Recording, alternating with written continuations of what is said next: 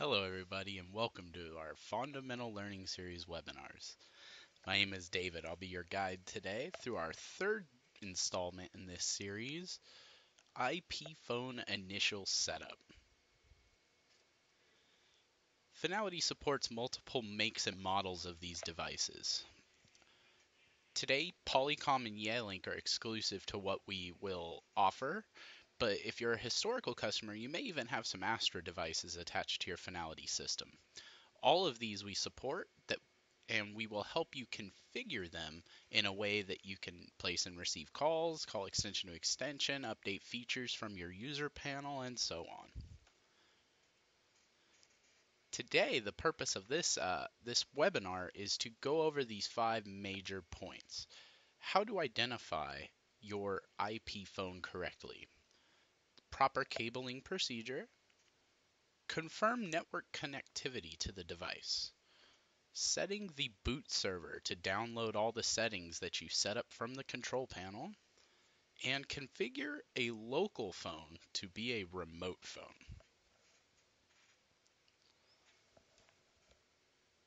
The most basic of all of these steps is how to properly identify your device.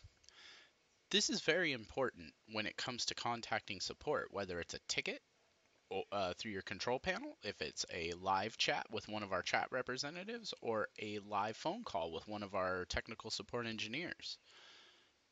The make, model, and address, uh, MAC address of these devices is how we can locate and effectively troubleshoot your device. Every make and model has a different process or will have uh, certain fields located in certain areas. The MAC address is the unique identifier. No other phone in the world will have that MAC address. So that's how we could locate you in databases, backend files, or any other way that we need to confirm settings with this device.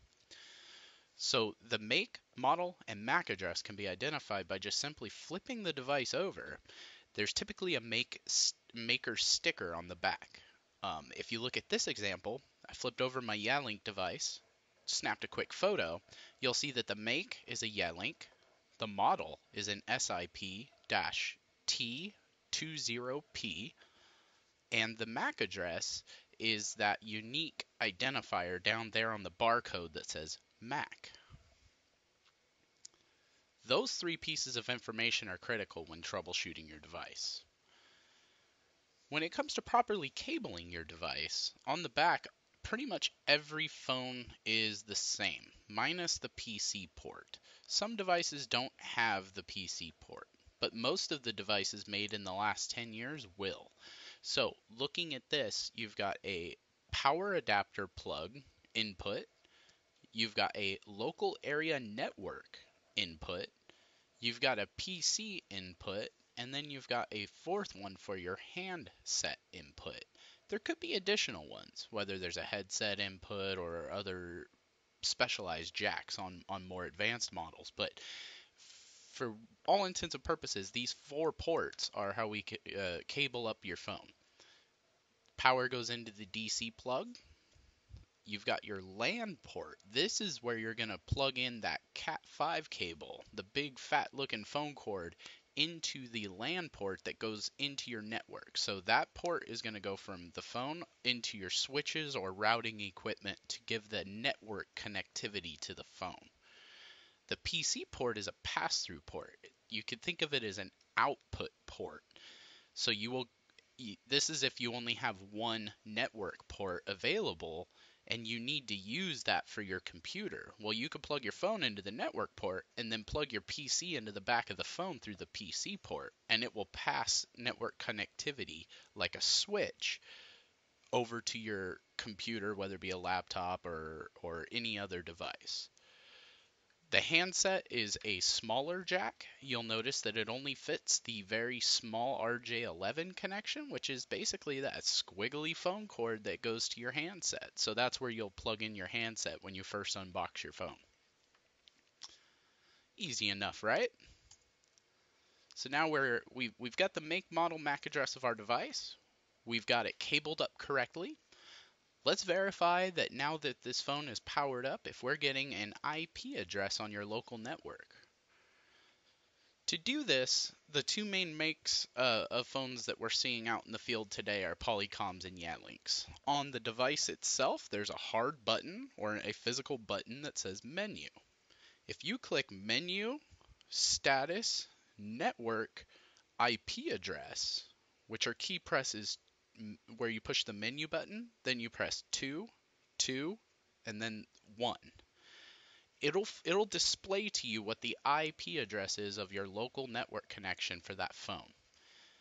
On a Yealink, it's it there's a few less steps. You really just hit the menu button and then hit the first option, which is status, and it will display you the IP address. It's going to look a lot like this. This is the address of this phone inside of your network so that you can log into it and troubleshoot it. setting the boot server. The boot server is where we're going to tell this device to reach out and go get all of its files, whether it be firmware files, boot ROMs, configuration files, directories, dial plans, anything that you set up through the CP that this phone needs to know to place and receive phone calls or configure it for a specific extension through the extensions page in the control panel this is how we tell that phone where to find all of these files. Fonality phones will come pre-provisioned when you purchase them from Fonality. However, there's a very limited battery inside of these devices. If they sit in a box for a period of time, a week, two weeks, a couple days, I mean, it's kind of hit or miss on how exactly it happens the pre-provisioned settings may actually default. It, it may it may lose them. But that's not the end of the world because we're going to show you how to set up that boot server so that once you reboot the phone, it will be able to hit your system, grab all of its configuration files, and update itself so that you could start using that device inside of your network. How do we set up the boot server? There's two ways. There's physically on the phone. You can press menu, you can go into admin settings, advanced, you can put in the password, you can run through all of the different uh, network menus and set the boot server there.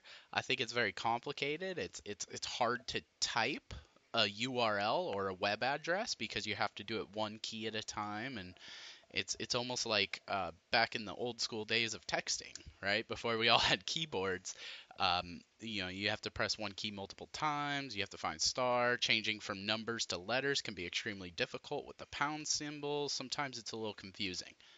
Much, much easier using your web browser logging into the phone. So let's see how we do that. Remember the IP address that we confirmed earlier? Well, we're going to use that IP address to utilize your web browser to log into this phone. Inside of my network, my test phone is on 10.10.13.162. I confirmed that by going into the menu, looking at the status, grab the IP, plugged it right here into my web browser, and hit enter. It's going to pop up with a username and password field so that it is secured. If you do not have this information, please contact support. Um, you can use a ticket, live chat, or call, and we'll supply you the username and password for the makes of your phone. So Polycom has a unique one, Aastra has a unique one, Yealinks have a unique one. The reason we're not publishing them here is we do not want them out there on the web for just anybody to see. So please, if you need this information, go ahead and contact us. We'll, we'll supply it for you. Um, just let us know how many different makes that you have. If you're all Yealinks, we'll just give you the one login. If you have more, we'll supply you with those as well. Let's go ahead and get logged in. We'll put in the username and password for your device and hit enter. Now you're in the web interface for your phone you'll see that it's much easier to navigate here to type, to, to select different fields than it is to configure the menus from your phone itself. Um, there are instances where you'll have to do that, but this is definitely the preferred way. To set the boot server, you're gonna, and, and this one is specific to a Yealink phone. All of these devices, if you type in your make and model into help.fonality.com, will show you checklist style troubleshooting to do these very steps that we're going over right now. Um, starts at step one, goes all the way to step 16. By the time you're done, you should be ready to go.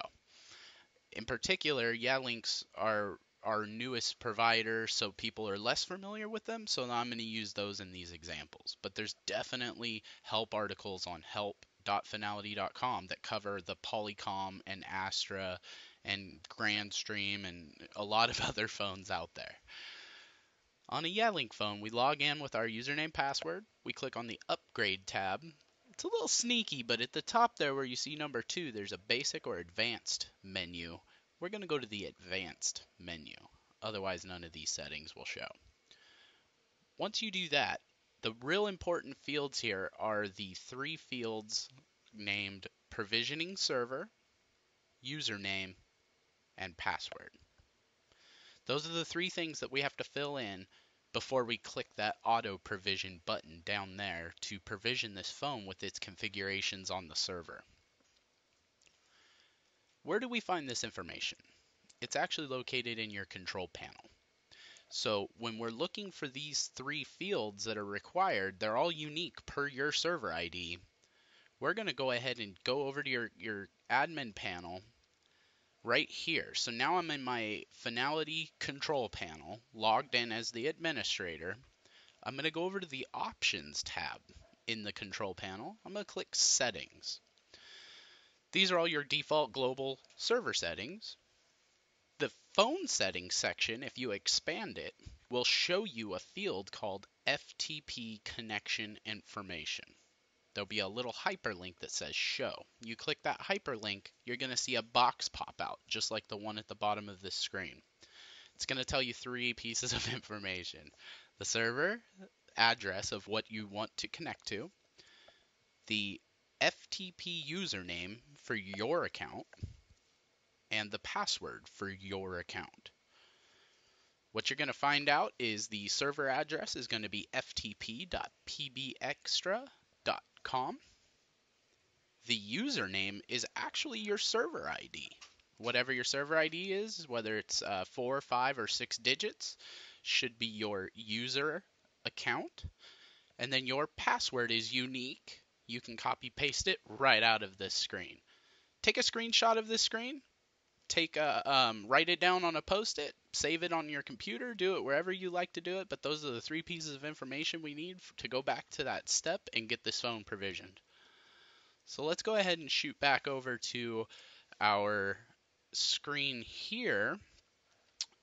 We're back into the upgrade advanced, I guess, page. So you'll see that provisioning server, I set it up as the FTP protocol so FTP colon forward slash forward slash ftp.pbxtra.com. The username will be your FTP user that we just saw. So it'll be your server ID. The password is your unique encrypted password that you got out of the CP just moments ago. As soon as you fill in those three fields, you'll be able to click down in the screenshot here where where you see the number 4 with the auto provision button.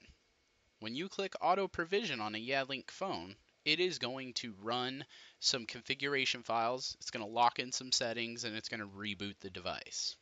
If everything is set up correctly, the phone will reboot, grab all of its configs, and come online like a charm as soon as it's done booting.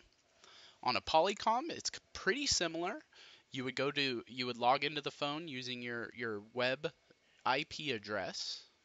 You would have to put in the Polycom specific username and password to log into the GUI of the of the Polycom phone. Then you could actually run through and set the boot server there as well. Uh, same deal. ftp.pbxtra.com, your username and password. On a yeah, or on a Polycom, you'll actually have to physically reboot it, but not a big deal. Um, once you save it, sometimes it'll reboot automatically. So that is how you provision your phone. If for some reason your phone comes with no settings, this is how we get it all set up based on the settings that you've configured in your control panel on the Fonality side. It should update the extension, the username, should know uh, what its voicemail mailbox address is and all of the settings that you configure from the extensions page inside of your control panel. That way you don't have to go through and set these devices up one by one. Pretty cool, right? The final step.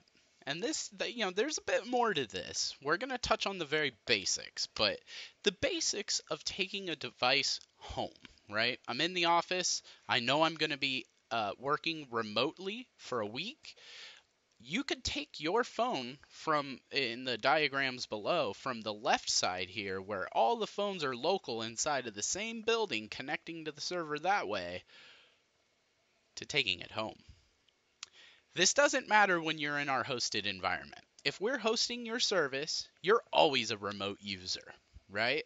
There's no server that you have in the office that you're connecting to physically. So you're actually coming from anywhere in the world connecting to our data centers. You will not have to worry about this. This is for people that have their own PBX systems located inside of their office that all of these phones are connecting to. So remember, if you're hosted, you can always connect a phone by simply just putting in the URL to connect. Either options are going to go to the same place. But when you're uh, hosting your own server, we have to do a little bit of changing here. Notice the address here on the accounts page. It says s server ID dot pbxtra.fonality.com with the port 5060. That is the local address. So the DNS name for your local server will be sserverid.pbxtra.fonality.com. That equals your LAN IP down there in the red, which will be something like 192.168 or 10. you know 0.0.1. However, th- those only work internally or local to the server when you're in the same network behind the same router if you're connecting externally from outside in the world into your network, you actually have to tell it to use the local or the WAN IP, which is the publicly routable IP. You know, it's gonna it's not gonna know how to find 192.168.1.101. But the 11.143.5.122 or whatever your WAN IP is, it connects through you adding an X at, right after the uh, the server ID in the in the URL right there. So if you look at the screen down below, note the difference between the red and the green options. The red option has no X. That is the local URL for this device. Note the green one below. All we did was add an X after right before the pbxtra.fonality.com. This tells it to use the external address, which is how we're going to connect from outside in the world. So by adding that X, hitting apply to the settings, and then rebooting the device, as long as our network is set up correctly, because over here on the left, we're going to have to allow connections over port 5060, this phone will register without any hiccups. You'll be able to utilize it from your home office simply by adding the X to the account um, of this phone for the registration server. I should touch on it really quick. Not the not the upgrade advanced, you know, not where we set the boot server, but the actual SIP account. Right up here on the account tab, we can just update that one field. You won't have to re-download your configuration files, right? You'll, you'll just have to simply tell it where to go to register to the server so that you could utilize the phone. Just wanted to touch on that really quick. So to recap, hopefully today you feel a little bit better about how to properly identify your IP phone to a technical support specialist when you're talking to them. It really speeds up the process in troubleshooting uh, a, a, a troublesome device. Uh, by knowing what make, model, and your MAC address is, we should be able to identify the proper steps to guide you through getting that device back online and getting you back to work. Proper cabling of your device, the power, the Ethernet cables, the switch functionality where you can plug in a computer and tether it through the phone to get an extra port if you only have a single drop in your office or cubicle or home office, and also uh, the headset connection, which is that smaller cable so that you have that squiggly cord going to your handset. Confirm your network connectivity. Are you getting an IP address? Is the phone even having a chance to register? So, uh, by hitting the menu status option, you can look and verify what the IP address is of that phone so that we can log in and do some troubleshooting. If you don't have an IP address, then we're having a network problem, and that's a whole different set of uh, troubleshooting steps. So you could see why th- why that one's pretty important. Uh, setting the boot server to get those configuration files, firmware files, dial plans, whatever it is that we set up through the control panel to get that device that has never talked to your server before, to get it to download its most current information, we set that boot server on the accounts or on the uh, on the advanced page of the upgrade section. That way, when you reboot it, it goes back to the server, re-downloads all of its files, all your changes that you've made in the control panel should be reflected upon it, the phone rebooting and registering up to your server. And then lastly, connecting a remote user uh, by taking your device home, simply add an X to the SIP account page right after your server ID to tell it not to use the local network address, but to use the the wide area network or the external address. Hopefully we feel better about what we just went through. I know um, there the next week we're going to be doing some uh, VoIP networking 101. Very important stuff. I highly recommend everybody who operates an IP phone to, to attend that one because it, it hopefully I can demystify a few things or um, maybe expand some knowledge that you already have some base understanding of or at least expose you to some stuff that you've never considered when setting up an internet phone system in your office. My name is David again. Uh, I hope that you enjoyed the presentation, and I hope you join us every Friday at 11 a.m. for our continuing Fundamental Learning webinar series. It's been a pleasure uh, spending some time with all of you, and if you would like, we could switch over to answering some questions just go ahead and type them in on the questions box on your GoToWebinar, uh, what do you call it, user panel. And uh, myself and Sergio will go ahead and answer all your questions for you.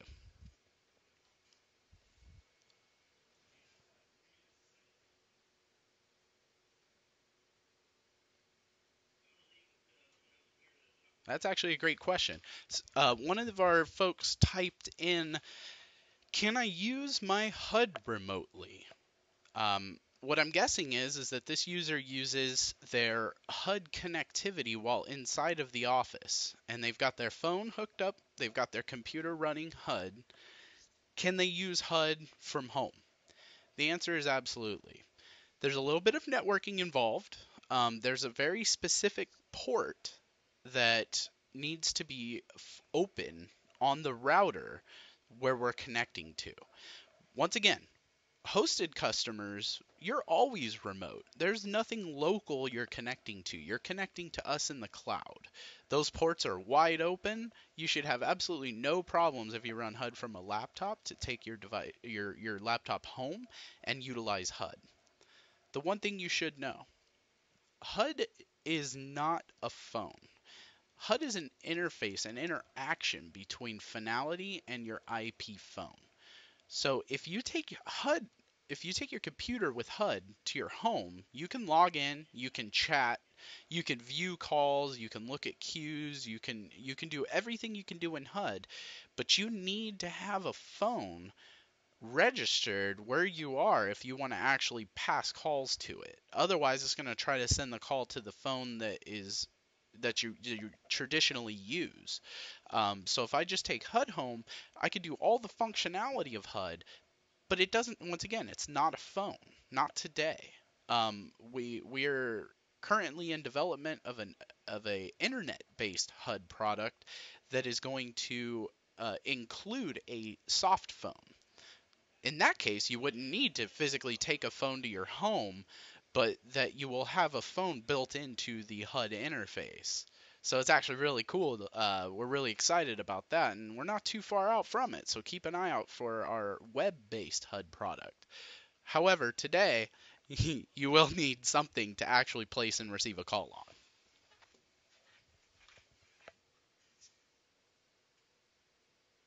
All right. Anyone else got any questions? All right. Thank you guys. I, I hope you had a wonderful experience. Please join us next week for VoIP Networking 101, and we'll see you then. Have a great day.